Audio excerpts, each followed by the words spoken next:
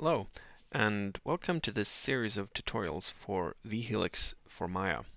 Now, vHelix is a plugin for Autodesk Maya that will allow the user to design DNA nanostructures in 3D in an intuitive and visual way.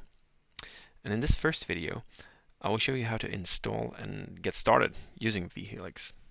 So first, go to our website, www.vhelix.net, and scroll down to the download links.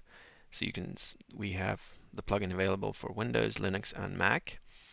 And in this example video, I'm gonna I'm gonna do it for uh, Windows. So I'm downloading the plugin, which is just one file in all in the case of all platforms. It should be just one file, and make sure you know where the plugin is downloaded. So in this case, this is the path.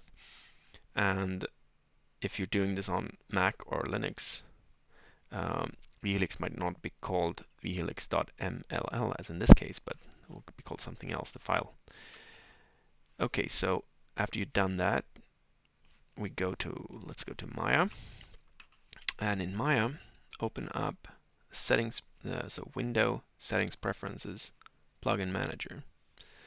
And at the bottom of the plugin manager, you have a browse button and you browse to the folder, the path you had where you downloaded my uh, vHelix, and just open the plugin file. And if everything went correctly, you should have a Helix menu item here in the top in the in the Maya menus. So if everything went okay, you should see that Helix Helix menu. Okay, so if you want a vHelix to load every time you start Maya, you can check the auto load checkbox here and close the plugin manager. Okay, so let's get starting started using uh, vHelix for Maya. Uh, so I have a new scene here, and in this vHelix, uh, this Helix menu, actually I like to work with this detached like this. So let's just press Create Helix and see what we get. Uh, if you press Create Helix, vHelix will by default create a 21 base pair long double helix, DNA double helix and I have Maya set to uh, shading uh, to to shade this as wireframe. Uh, let's I press five on my keyboard to get it to shaded. So, and as you can see in the outliner here, we have a, a helix object. Okay, so these colors that you get on the on the strands, you can change them by uh, clicking one of the bases on the strand and press Paint Strand and that will cycle through a series of uh, random colors. I'm just clicking paint strands here. Uh, we also have in the middle, we have this arrow, this is a directional arrow, which is pointing in the direction of the forward strand. In this case, the gray one here is the, the forward strand. And that doesn't really matter in most cases. Some sometimes when you're designing a structure, you might want to keep all the strands of the scaffold. If you're doing a DNA origami structure, for example, you might want to keep all the strands that are supposed to represent the scaffold on the forward strand.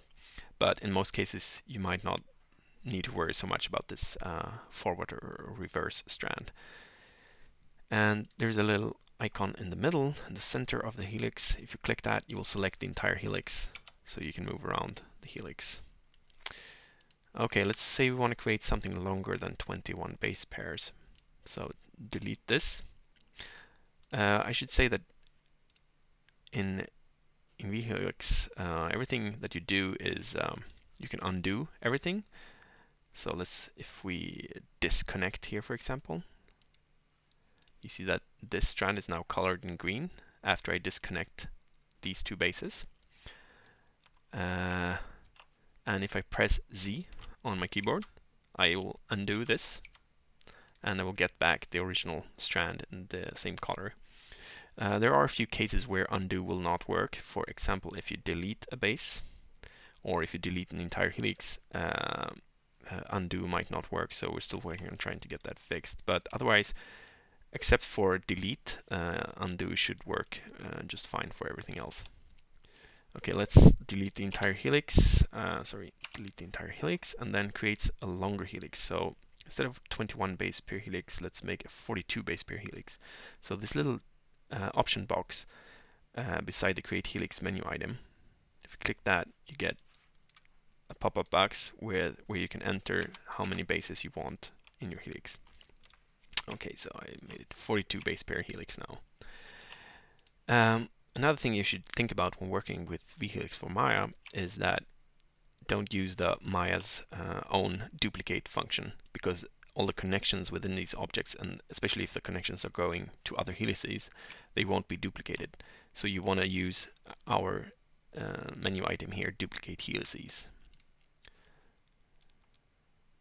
to make copies of your helices. Okay, so now we have two helices. Let's position them on top of each other. And now I'm going to connect some bases together. So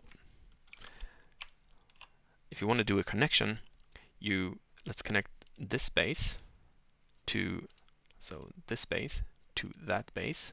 So first click this base that you're going from and shift select the next base and then connect bases.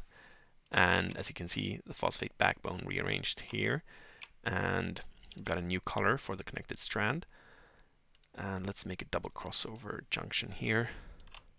So first select the base you're going from, and then select the base you're going to, and connect bases. Oh, they got this almost the same color, so let's paint them a little bit differently. Okay, and these connections, they actually, uh, they are, they have aim constraints, so the arrows try to follow where they're supposed to go if you move one of the helices around. Uh, let's rotate the bottom helix a little bit.